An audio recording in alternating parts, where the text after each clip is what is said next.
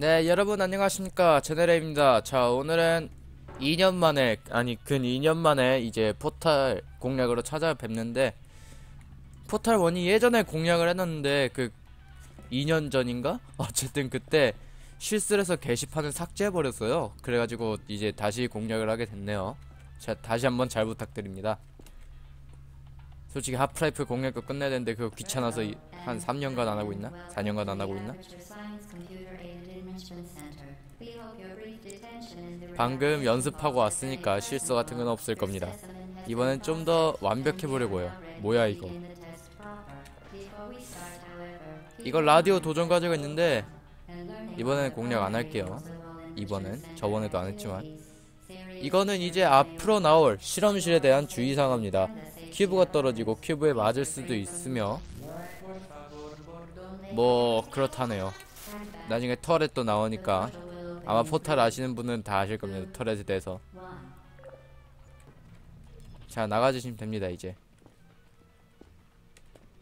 왜 이렇게 끊기지? 자 여기에서 포탈의 가장 기본적인 요소를 배울 수가 있습니다. 바로 이 큐브를 이용해서 저 스위치 위에다 올려놓는 것이죠. 이게 엄청 이게 나중에 엄청나게 응용이 돼서 나오니까 이거를 여기서 이 개념을 확실히 알고 가셔야 됩니다.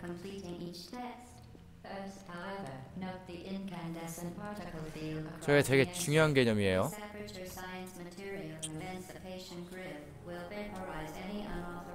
나중에 저걸 이용한 게 되게 많이 나옵니다.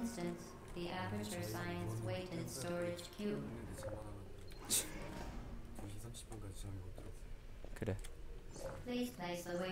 자 여기서는 정확하게 포탈이 이쪽으로 가서 이쪽으로 간 다음에 이쪽으로 갑니다. 근데 큐브가 여기 있죠?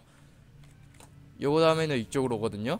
그러니까 이렇게 가서 바로 큐브를 덥석 해 주시고 젠장. 방금도 이러더니 설명하느라 좀 타이밍이 늦었네요. 어쨌든 여기 여기 여기 여기 순서로 갑니다.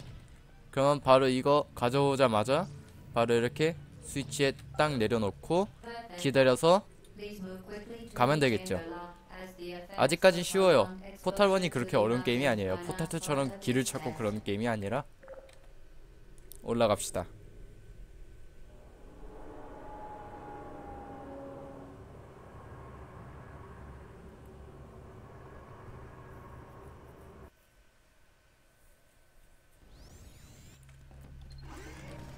자 여기서 이제 휴대용 portal gun이 나옵니다. 여 글라도스가 하는 말은 씹어주시고 우리 우리가 중요한 건 저 휴대용 포탈이에요. 휴대용 portal gun. 이게 파란색 포탈만 이렇게 심어주는 건데 여기에서 봤을 때는 길을 모아서 찡팡하고 쏘지만 저희가 잡을 때는 delay가 없다는 점. 그러니까 걱정 안 하셔도 돼요. 자 이대로 나가줍시다. 나가자마자 얘가 친절하게 포탈을 쏴줘요. 이렇게요. 그러면 바로 이렇게 나와서 포탈을 아니, 포탈을 잡아 포탈건을 잡으시고 여기 벽에 아무 곳에나 심으셔도 됩니다. 그리고 여기서 포탈의 또 중요한 개념을 배우셔야 되는데 포탈은 이 하향색면 그러니까 스토리를 설명하자면 이 월석으로 이루어진 벽에만 생산할 수 있어요. 포탈을 이런 금속 재질 그러니까 이런 월석으로 이루어지지 않은 재질에는 포탈을 생성할 수가 없습니다. 이걸 알아두시고 게임을 진행하시면 되게 편합니다. 제일 중요한 개념이기도 하고요. 그리드? 뭔 그리드? 아 그리드는 허가 되지 않은 장비 왜 허가된 장비 외에 모든 것을 전부 태워버리는 겁니다. 그러니까 이 포탈건은 허용된 거기 때문에 이렇게 그리드에 지나가면 이거는 아직 살아 이거 뭐라고 해야 돼?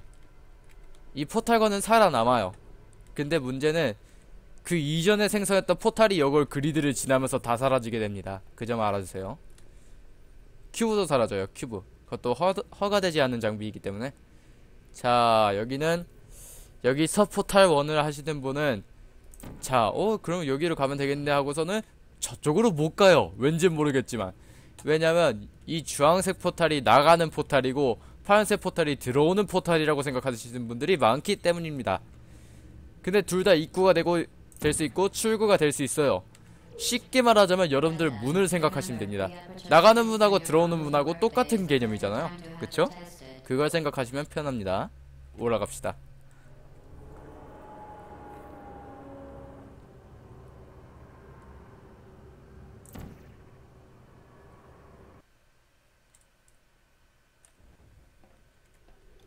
이번에는 테스트 5까지 진행할 거예요. 여기가 테스트가 몇인지 기- 기억이 안 나지만 여기다가 포탈을 생성해 주시면 자 여기에 딱 뜹니다. 그러면 그냥 이것만 딱 잡아서 여기다 올려 놓으시면 돼요. 보통 이 뭐라고 해야 돼?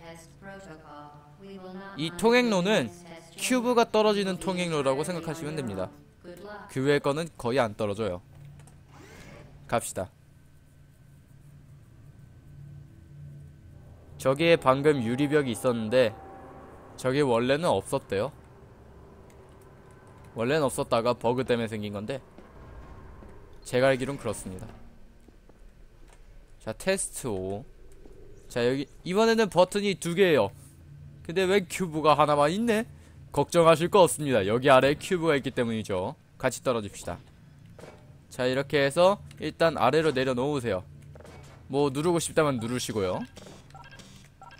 그리고 저쪽으로 가시려고 하는데 처음 하시는 분들이 여기다 생산을 하고 어디로 갈지를 고민해요. 일단 여기로 생산해서 위로 가줍시다. 왜냐면 주황색 포탈이 여기 있기 때문이에요. 그리고 저쪽으로 생성해서 주황색 포탈로 딱 이제 들어가서 이 큐브 마지막 큐브를 가져와 주시면 됩니다. 처음 하시는 분들이 헷갈리시는 분들이 많아요. 여기 바로 아래다 생산해 주세요. 저 위에서 포- 주황색 포탈이 딱 생성되기 때문에 갑시다. 아주 쉬운 구간이었죠. 아직까지는 기초를 배우는 거기 때문에 여러분들 어렵지 않게 할 수 있습니다.